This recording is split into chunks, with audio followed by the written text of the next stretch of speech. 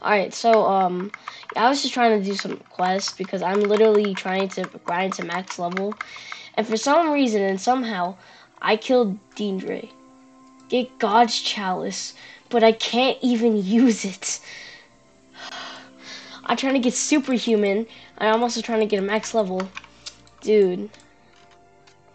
Alright, time to go kill another boss. Uh, let's, uh, let's see.